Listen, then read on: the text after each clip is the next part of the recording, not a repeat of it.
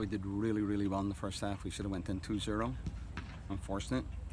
And uh, the second half, it was, it was 90 degrees when the game started, so that had a little bit to do with it. We were out three defenders, Len, Thomas, and Josh. So we had three new guys basically. Well, Rafa's paid some back there, so that didn't help matters, you know. So I know injuries sound like an excuse, but it's reality. But all in all, we take the positives out. We had our chances. We played really, really well. And sometimes it happens with, uh, you know, Simon, who's our goal scorer guy, that uh, sometimes you just don't finish and you get into a little bit of a rut. Hopefully he keeps his confidence up and tomorrow he gets back. It's going to be a tough game. Uh, watch them on tape against Brown. They've got a big international fighter. Uh, they're strong. They played on Saturday night. They played overtime on Saturday night. So uh, we have to press them. We have to really get after it. And you know we're at home, so we got to take the game to them. We did well in the first half, and if we had the goals, then it's easier kind of to defend that part of it. And you can you don't have to keep make changing. You can you know you get yourself stretched when you're trying to catch up. You know, so hopefully we get ahead. We need to get ahead. We need to score the first goal, and we need them to chase the game and not us.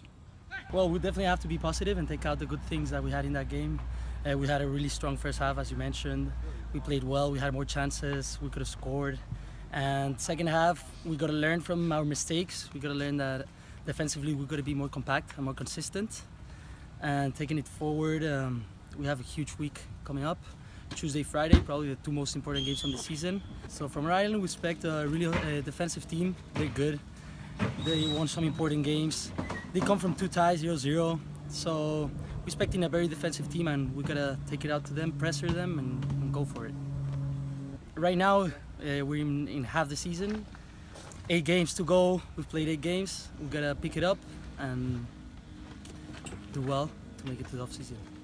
I feel it's not only Louisville, like we played against Clemson, Notre Dame, Louisville, three top team, top 10 like teams in the country, and I think that we proved that we can compete with all of them, and it's just cutting out the mistakes and staying compact and um, just staying focused 90 minutes. And I think if you do that, we can we can beat any country, any team.